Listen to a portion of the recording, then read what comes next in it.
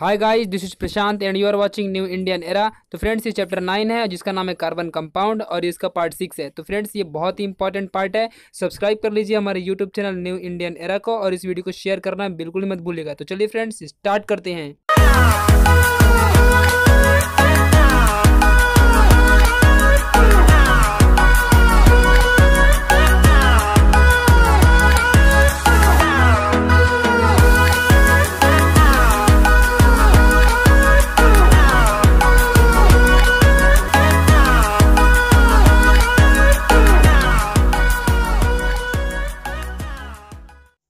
चलिए friends start करते हैं। ये है हमारा चैप्टर नाइन जिसका नाम है कार्बन कंपाउंड और ये साइंस वन का पार्ट है फ्रेंड्स हम लोग देखने वाले including all topics with basic concept मैं हूँ Prashant and you are watching new Indian era तो चलते हैं हम लोग अपने नेक्स्ट वाली नेक्स्ट वाली स्लाइड में।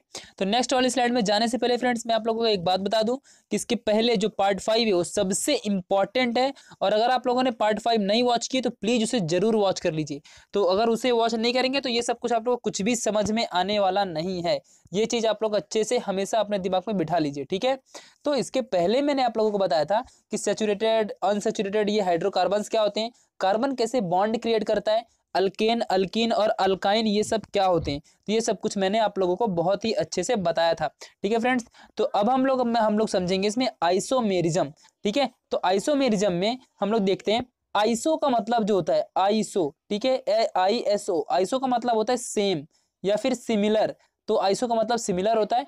जो मेरिजम होता है मेरिजम का मतलब होता है मेरिजम का मतलब स्ट्रक्चर ठीक है? तो इसका मतलब होता है स्ट्रक्चर तो ये आप लोग समझ लीजिए, यानी कि आइसोमेरिज्म में सिमिलर स्ट्रक्चर यानी कि जो उसका मॉलिकुलर फॉर्मूला होगा, वो सिमिलर होगा। यानी कि मॉलिकुलर फार्मूला सेम रहेगा और जो स्ट्रक्चरल फार्मूला है, वो डिफरेंट रहेगा। ठीक है? तो आइसोमेरिज्म में आप लोग को समझ गया होगा आइसो मतलब सेम मेरिज्म मतलब जो भी फार्मूला या फिर जिससे स्ट्रक्चर बनने वाला है तो आइसोमेरिज्म ये होता है और इसका इसमें जो स्ट्रक्चरल फार्मूला होगा, यानी कि जो स्ट्रक्चर होगा, वो कुछ डिफरेंट होगा और जो इसमें, इसके अंदर मॉलिकुलर फार्मूला होगा, जैसे कि यहाँ पर सी फोर एच टेन इसको मॉलिकुलर फार्मूला बोलते हैं ऐसे फॉर्म को। तो ये मॉलिकुलर फार्मूला होता है तो ये इसमें रहेगा सिमिलर ठीक है? तो अब लोग इसमें देखते हैं सी फोर एच टेन यहाँ पर दिया हुआ है। तो सी फोर एच टेन का मतलब है सी फोर तो इसके पहले पार्ट फाइव में मैंने आप लोग को एक टेबल दी थी। तो आप लोग को पता होना चाहिए कि चार कार्बन वाला, जिसमें चार कार्बन होते हैं तो चार कार्बन वाले को हम लोग बोलते हैं ब्यूट यानी ब्यूटेन और कार्बन कार्बन के बीच में सिंगल बॉन्ड है, इसलिए हम लोग इसको ब्यूटेन बोलेंगे, ठीक है? तो अब ब्यूटेन में आप लोग इसमें यानी कि अल्केन का पार्ट है, और अल्केन का फॉर्मूला होता है C N H two N plus two तो जब इसमें आप लोग एन की जगह में फोर रखेंगे तो हाइड्रोजन टेन निकल के आ जाएगा, ठीक है? तो आप लोग को इस यहाँ से पता चल जाएगा कि कितने नंबर ऑफ़ हाइड्रोजन इसमें होने वाले बस आप लोगों को कार्बन के नंबर से मतलब होना चाहिए, और कार्बन कार्बन के बीच में कितने बॉन्ड है उससे बस हो गया। तो इसका नाम होगा ब्यूटेन इसका नाम ब्यूटेन क्योंकि इसके पास चार कार्बन है, ठीक है? तो ये ब्यूटेन का स्ट्रक्चर यहाँ पर बना हुआ है फ्रेंड्स देख लीजिए। तो पहला तो हम लोग स्ट्रेट चेन बनाते हैं स्ट्रेट चैन चैन का मतलब होता है सीधे, एकदम सीधे। देखो यहाँ पे सीधा है चैन है एक। तो ये स्ट्रेट चैन हम लोग ने क्रिएट कर लिया है। तो ये सी फोर यानी चार कार्बन और दस हाइड्रोजन के साथ एक स्ट्रेट चैन वाला स्ट्रक्चर भी बन सकता है और एक दूसरा भी बन सकता है। अगर हम लोग ये वाला जो हाइड्रोजन है, इस हाइड्रो ये वाला जो कार्बन है, इस कार्बन को अगर हम लोग यहाँ पे सेंटर पे लगा देते हैं तो भी हमारा सी फोर एच टेन ही क्रिएट होता है। तो यहाँ पे जो कार्बन था, उसको हम लोग ने यहाँ पर लगा दिया है, देखो, इस सेकेंड कार्बन पे। तो यहाँ पर क्या बन गया है? देखो, यहाँ पर एक ब्रांच वाला हमारा चेन बन गया है, ठीक है? तो अब ये प्रोपेन है। इसका नाम अब प्रोपेन होगा और टू पे मिथाइल लगाए। तो इसका नेमिंग होगी टू मिथाइल प्रोपेन, ऐसा नाम होगा, क्योंकि तीन कार्बन है मेन कार्बन तीन है। ये सब आयु पैक नेम है फ्रेंड्स मैं आयु पैक नेमिंग आप लोग को बहुत ही बेस्ट तरीके से बताऊँगा। जब मेरा इसके बाद वाला पार्ट आएगा तो मैं आयु पैक नेमिंग आप उसको देख लीजिए। और सबसे कंसेप्ट मतलब कुछ भी आपको उसमें सीखना नहीं पड़ेगा, पढ़ना नहीं पड़ेगा। बस दो तीन चीज़ें आपको याद रखनी पड़ेगी और आयु पैक नेमिंग आप इजिली कर सकते हो। तो यहाँ पर तीन कार्बन है और तीन कार्बन को हम लोग प्रोपेन बोलते हैं। और सेकेंड नंबर पर सेकेंड नंबर पर कौन है? मिथाइल है, यानी कि मिथाइल यहाँ पे बनता है तो टू मिथाइल प्रोपेन इसका नेमिंग है। तो यहाँ पे मैं सिर्फ़ ये बता रहा हूँ कि एक ही इसका जो मॉलिकुलर फॉर्मूला है, ये सिमिलर है, लेकिन डिफरेंट डिफरेंट स्ट्रक्चर बन सकते हैं। पहला स्ट्रेट चेन हो गया, दूसरा वाला ब्रांच चेन हो गया, ठीक है? तो ऐसे आप लोग समझ सकते हैं आइसोमेरिज्म को। फिर नेक्स्ट वाला हम लोग थोड़ा सा देख लेते हैं साइक्लो यानी कि कुछ साइक्लिक चीज़ें। तो इसके पहले पहले वाले पार्ट फाइव में मैंने आप लोग बताया था कि जो छह कार्बन वाला होता है तो सिक्स कार्बन वाले को हम लोग बोलते हैं हेक्जेन क्या बोलते हैं उसको हेक्जेन बोलते हैं। लेकिन जब वही सर्कुलर फॉर्म में आ जाता है तो सर्कुलर फॉर्म में आने के बाद हम लोग उसकी पहले साइक्लो लगाते हैं। साइक्लो यानी कि साइक्लोन शब्द से निकला है, जो साइक्लोन वर्ड होता है इंग्लिश का, उस साइक्लोन वर्ड से बना है साइक्लो तो अब ये हेक्जेन है, लेकिन साइक्लोन यानी कि साइकिल के फॉर्म में। तो इसीलिए हम लोग इसको बोलते हैं साइक्लो हेक्जेन ठीक है तो इसका नाम नेमिंग क्या होगी? साइक्लो हेक्जेन जबकि ये छह कार्बन से बना है, तीन इधर तीन इधर। ये छह कार्बन से बना हुआ है, इसका नेम होगा साइक्लोहेक्सेन और इसको हम लोग कार्बन की रिंग बोलते हैं, ठीक है? सिक्स कार्बन से। यहाँ पर जब हम लोग हाइड्रोजन फिल कर देंगे, यहाँ पे देखो पूरे हाइड्रोजन फिल कर दिया। देखो, अब इस कार्बन के लिए दो बॉन्ड ऑलरेडी बन चुके हैं, दो बॉन्ड ऐसे और बनेंगे। फिर इस कार्बन के लिए, हर एक कार्बन के लिए दो बॉन्ड ऑलरेडी बने हुए हैं और यहाँ पे दो और बनेंगे, जिससे हर एक कार्बन का चार चार बॉन्ड क्रिएट हो जाता है। तो ऐसे ही सारे यहाँ पर जो हाइड्रोजन हम लोग एटम फिल कर देंगे तो यहाँ पे साइक्लोहेक्सेन बन जाएगा, ठीक है? फ्रेंड्स तो सबसे बेसिक था। और इसके अगले स्लाइड में हम लोग चलते हैं, जिसमें हम लोग डिफरेंट डिफरेंट टाइप्स के हाइड्रोकार्बन के बारे में पढ़ेंगे, ठीक है? इसके पहले हम लोग ने सिर्फ़ हाइड्रोकार्बन का जो मेन टाइप है सेचुरेटेड और अनसेचुरेटेड पढ़ा था।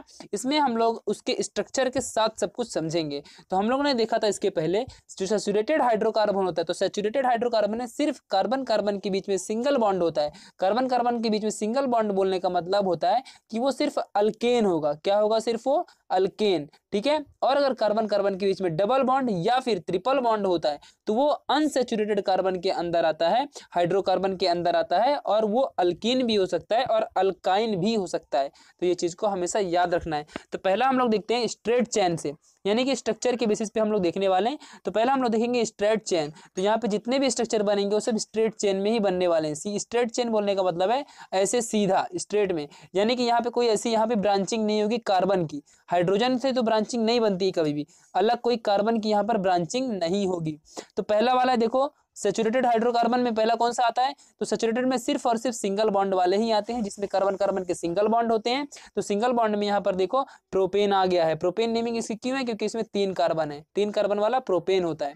फिर अनसेचुरेटेड में देखो यहाँ पे डबल और ट्रिपल बॉन्ड वाले आते हैं। इसीलिए इसका नाम है प्रोपीन तीन कार्बन है, और इसका नाम होगा प्रोपाइन क्योंकि इसमें ट्रिपल बॉन्ड है। तीन कार्बन में ट्रिपल बॉन्ड इसमें तीन कार्बन में डबल बॉन्ड इसीलिए इसका नाम प्रोपीन है, इसका नाम है प्रोपाइन तो जो अल्कीन होता है और अल्काइन जो होते हैं, ये दोनों अनसेचुरेटेड के अंदर आते हैं और जो अल्केन होता है, वो आता है सेचुरेटेड के अंदर। तो ये चीज़ को हमेशा याद रखना है। चलते हैं हम लोग फ्रेंड्स नेक्स्ट वाली स्लाइड में, जो कि सबसे इंपॉर्टेंट है।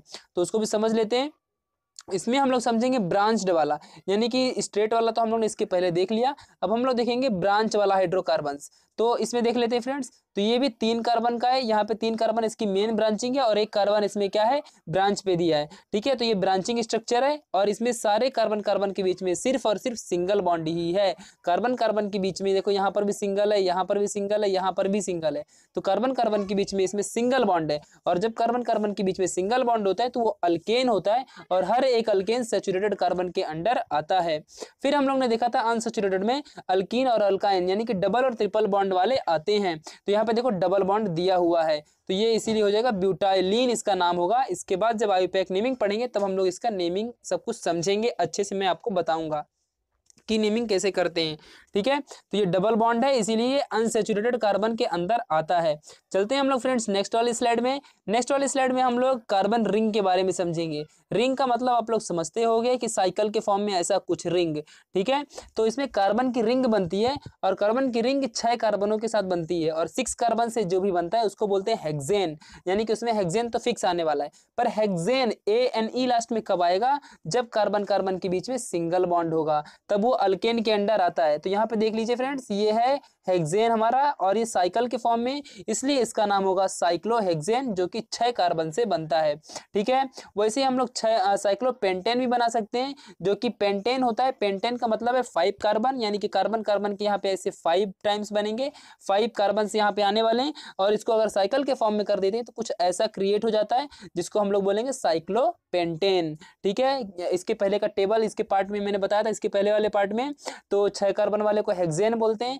फाइव कार्बन वाले को पेंटेन बोलते हैं फोर कार्बन वाले को ब्यूटेन बोलते हैं। फिर थ्री कार्बन वाले को प्रोपेन बोलते हैं और जब सेकेंड दो कार्बन वाले को इथेन बोलते हैं और एक कार्बन वाले को मीथेन बोलते हैं। तो ये चीज़ आपको हमेशा याद रखनी है और यहाँ पर देखिए फ्रेंड्स डबल बॉन्ड जब आता है डबल बॉन्ड तो यही चीज़ बन जाएगी साइक्लोहेक्जीन यहाँ पर अच्छे से देख लीजिए साइक्लोहेक्जीन है। यहाँ पर साइक्लोहेक्जेन है, क्योंकि अल्केन यानी ए लास्ट में ए रहता है। ए वाला हमेशा हाइड्रोकार्बन में सेचुरेटेड वाला होता है और अनसेचुरेटेड वाला हमेशा इन या फिर yne Y N E last में लगा होगा।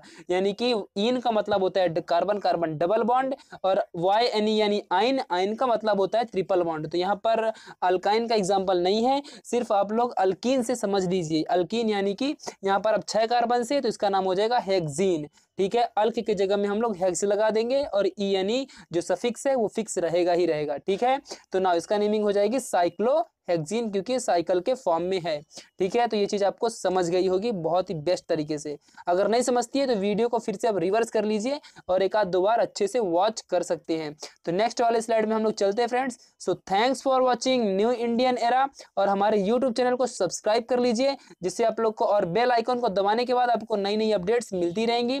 और इसके बाद में जल्द ही अपना नेक्स्ट वाला पार्ट अपलोड कर दूँगा, जिसमें कि हम लोग सीखने वाले हैं बहुत कुछ नया, जैसे कि फंक्शनल ग्रुप क्या होता है हेटेरो एटम्स क्या होता है? कैसे उनका हम लोग उसकी नेमिंग और अच्छे से हम लोग उसको याद करेंगे और फिर हम लोग पढ़ेंगे आयुपैक नेमिंग के बारे में। क्योंकि आयुपैक नेमिंग बहुत ही इंपॉर्टेंट है और आयुपैक नेमिंग मैं आप लोग को बहुत ही अच्छे ट्रिक के साथ पढ़ाने वाला हूँ। अगर वो ट्रिक आपको समझ गई तो सबसे बेस्ट आप समझ सकते हैं, ठीक है? तो इस वीडियो को शेयर कर दीजिए अपने फ्रेंड्स में फेसबुक व्हाट्सएप और इंस्टाग्राम में और हमें फॉलो कर लीजिए फेसबुक पर। नीचे लिंक डिस्क्रिप्शन मतलब जो डिस्क्रिप्शन है, वहाँ पर लिंक आप लोग को प्रोवाइड की गई है। वहाँ पर क्लिक करके आप फॉलो कर सकते हैं। तब तक के लिए बाय